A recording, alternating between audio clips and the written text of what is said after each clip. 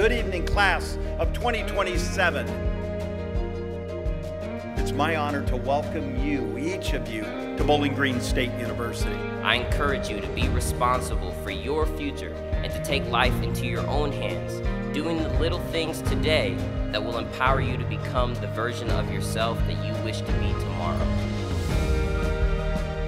On behalf of Bowling Green State University, I am so happy to now declare you are Falcons